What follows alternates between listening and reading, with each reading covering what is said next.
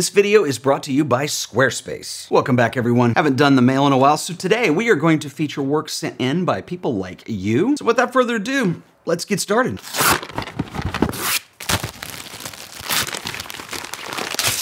All right, so first up is this book that comes to us from Owen Hartford, who lives in Massachusetts. This is called From Icicles to Africa. Owen also includes a letter which reads Hello, Ted. I'm including a book that I have just recently published. It seems that most of the books you receive are from younger photographers, at least younger than me. I'm 79, and this is my first book.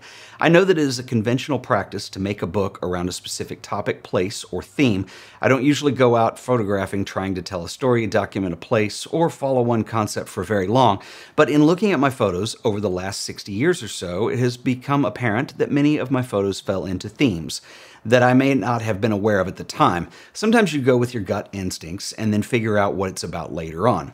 I don't think of this as a retrospective as such. There are quite a few photos that I didn't include because it didn't seem to fit with anything else.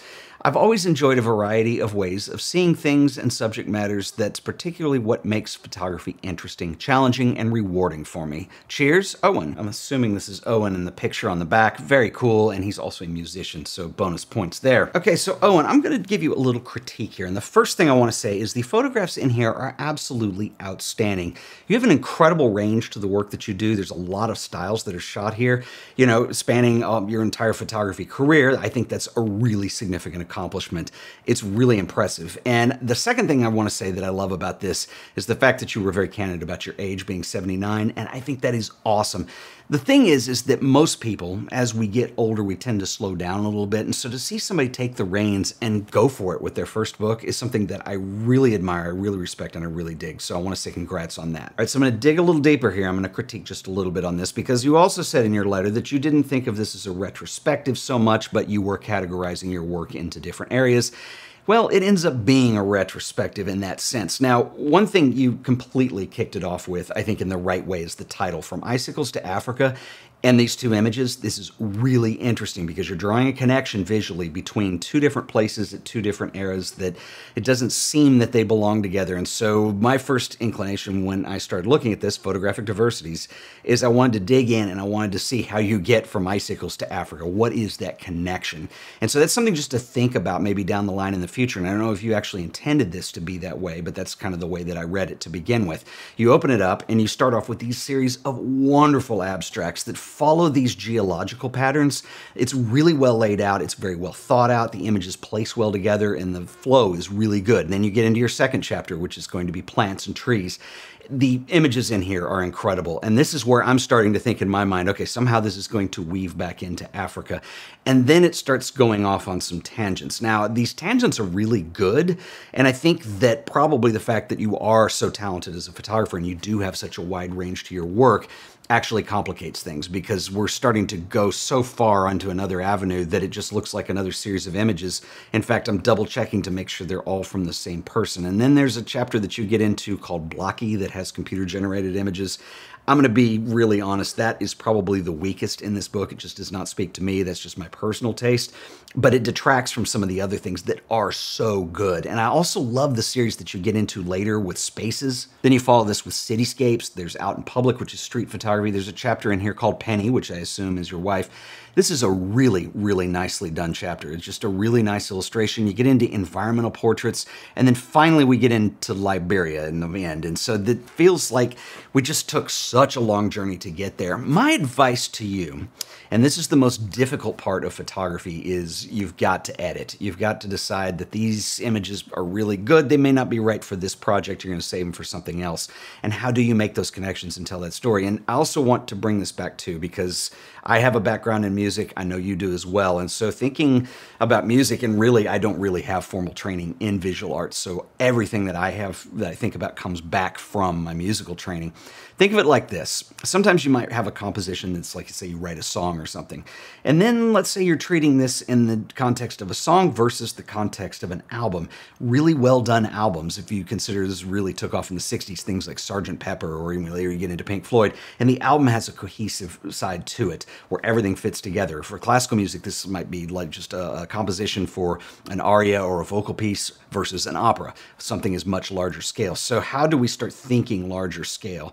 And I think that you probably have the seed for about five or six different books in here because the work really is that good. And I think you should be very proud of that. Anyway, just a couple thoughts from my end. I kind of want to see this as a conceptual book, but I still think it's really strong. The photography is amazing that's in here. And uh, man, keep at it. I, I'm really excited and I love work that gets me excited. So anyway, I'll put a link to Owen's stuff in the show description like I do with everybody else. Owen, thank you for sending. I love it. All right, this is interesting. So next up is this little box that's full of stuff that was sent to me from Dan Fiore, who actually made a comment in here. I featured him in a video a while back. It just says, FYI, at Ted Forbes, thanks for the cameo of my photos and equating me to Madonna. I didn't have a last name, so I said, it's Dan, like Madonna. In fact, it actually is sitting back here behind my computer. This is the uh, little box that Dan sent in before. It's a little metal box that contains some Insta Instamatic prints in it. They're very cool. But today, Dan has sent this box, and I love how people do this, and there's diagrams and stuff. Anyway, art a noun into art a verb. And so basically he writes, Hi Ted, I've created a photo box inspired by you to get my digital images off my SD card and out into the world. My photo boxes allow you and others to participate in the creative process. I have included photo postcards, a pen, stamps, oh, and some cool little push pins, as well as these photo hangers. So the idea is that you can take the images, which are turned into postcards, and quite lovely, I might add. These are actually from Dan's newest book, called Narrativa 2002. I'll link this in the show description. Some really nice street photography photos in here. Oh my God, love the dancer. It's gotta be the window at the end of the terminal LaGuardia. I have spent way too many hours there over the years. So two things you can do with this box. You can take the postcards, you can write on the back, and you can stamp them because there's stamps here and you can send them to a friend, old school social sharing. Or you can take the push pins with the little clips and stuff and you can hang them. So this is essentially more or less an exhibition in a box. Okay, this is cool, and I really like the idea. And Dan, give me give me just a little bit of time to think on this because I just opened this and it actually kind of surprised me. But I like the idea of sharing stuff like this, and I like the idea of being able to have a little temporary rotating exhibition here in the studio, perhaps? It's kind of what I'm thinking. I need space for it, but that would be, I mean, that would be pretty rad. And we could have other people send stuff in and we could change things out. Give me some time. If you guys have any ideas on this, uh, please leave me a comment and let me know what you guys are thinking because I love this idea. I love the idea of being able to share them and you have options with them. And this is kind of cool and it just kind of gets us out of the internet a little bit and gets us onto the road to sharing our work, which is really cool. So Dan, this is awesome. Thank you so much for sending. I absolutely love it. Photo box with postcards. Dig it. All right, I've got a couple more that I want to share, including this one that came to us from Ukraine. And actually, this is a beautiful book on automotive photography. But really quick, we'll give a shout out to our sponsor this week, who are the always awesome folks over at Squarespace. Listen, you need a website, and we all know how much work that is to build and maintain, but it doesn't have to be. Squarespace is by far the easiest way to build your online presence. It's also the best way to grow a business that works for you without having to write a single line of code. Do you just need a simple portfolio or a blog to showcase your work? Well, Squarespace is perfect featuring a drag and drop interface. It's intuitive, it allows you to build galleries quickly and update your site with ease. Are you running a business? Well, Squarespace gives you additional tools for things like appointment scheduling, private member areas, social media tools, and even advanced email marketing. Do you sell products or services? Well, Squarespace has you covered with complete tools to power your store, from merchandising to checkout so that you can sell, ship, and build your customer base. You can even sell classes or manage appointments through your website. And with Squarespace extensions, you can easily sync with third parties to manage, optimize, and enhance your website. From social media integration to SEO, Squarespace gives you all the tools you need to grow a business that works for you.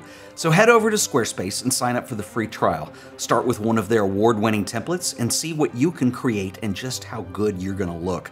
When you're ready to launch, go to squarespace.com/aop and I can save you an additional 10% off your first purchase of a website or domain. Just use offer code AOP on checkout. So give it a try and see if Squarespace is right for you. And I want to give a special shout out and thank you to Squarespace for sponsoring this video. All right, so next up, this is Andrew Cherlat, who is a Ukrainian photographer. This is called Automotive Photographer and has a cool subtitle in here. Genre for car addictive photographers. Andrew sends a note with a QR code, so if you want to follow him on Snapchat, there he is. Andrew writes, Hey Ted, I have been subscribed to your channel for quite some time and I love the way that you cover important topics in the world of photography, I'm sending you this book for your collection of photo books. Support will be important for me because I'm a photographer from Ukraine. I'm happy to introduce you to the book Car Portraits because for me, cars are like living beings with which I enter into spiritual contact. Best regards, Andrew. So, Andrew, this book is beautiful. The work in here is absolutely outstanding. For those of you who've never shot cars before, it is very unusual, unconventional, and it's very difficult to do sometimes. This level of skill, Andrew clearly knows what he's doing. I absolutely love all this stuff, Andrew, and I'm going to guess, and there isn't much to critique here because it's so well done.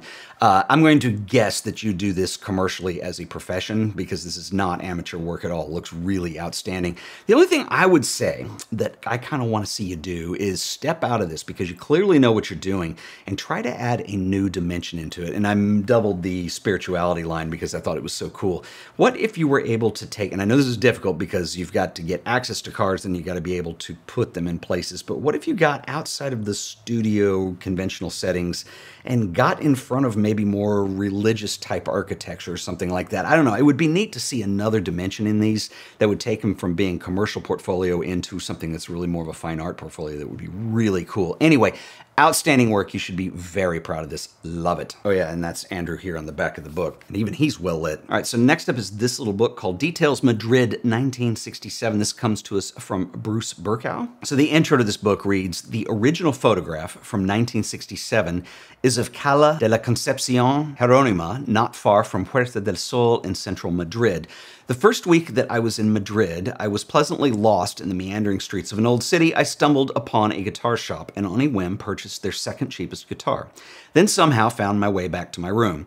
I later wandered the streets again looking for that guitar shop, but was never able to find it.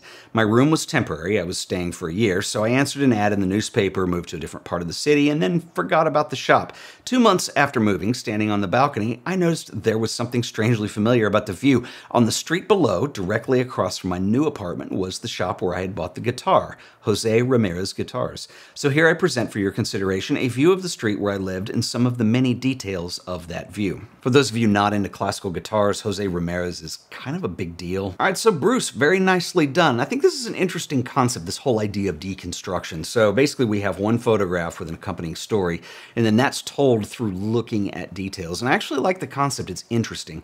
And I think the way that you pair those up and the way that they play together in sequence uh, makes or breaks the project. And I think it does very well with this.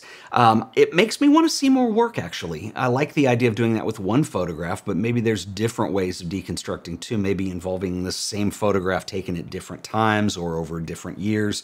I assume the original was 67, which is what it said in here. Um, but anyway, it's a great idea and it's very cool, so I really appreciate you sharing. This would be a really cool idea for a zine too, the whole idea of deconstruction of an image. Anyway, very conceptual. Love it. Bruce, thank you for sharing. All right, some great stuff today, and don't forget to leave me a comment on your thoughts on the portable exhibition box thing here. And uh, remember, this is something that Dan sent in a while back. I actually covered this in the newsletter that I send out once a week. And so if you guys want to subscribe to that, it's just an email that comes out and it's just all about art and photography and all that cool stuff comes out every Friday. So I'll put a link in the description below if you want to subscribe to that for more awesomeness. And um, anyway, until the next video, I'll see you guys then. Later.